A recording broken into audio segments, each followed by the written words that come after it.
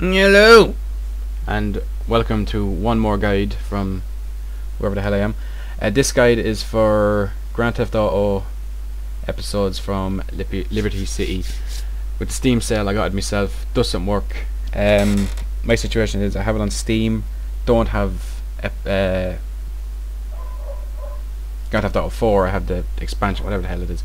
Anyway, thing is you would click play the social club thing would come up. You, either you click play online or offline whatever doesn't fucking work game just doesn't launch.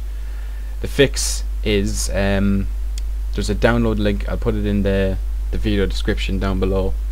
Click that and download this small thing. It should only take a second to download. Uh, what you want to do is you need WinRAR.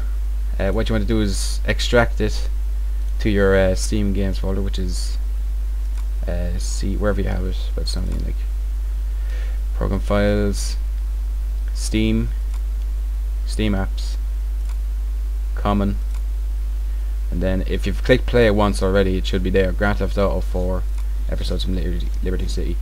Go into EFLC, which is episodes from Liberty City, and then just right click and paste or drag and drop, whichever you want. Copy, paste, drag, drop.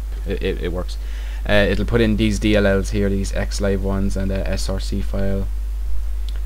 Uh, the only thing is, it will disable any online stuff with the game. So if you are looking to play the campaign, the single player, which I was, it, it works fine. But uh, unfortunately, it, uh, the online stuff doesn't work at all because it's shitty.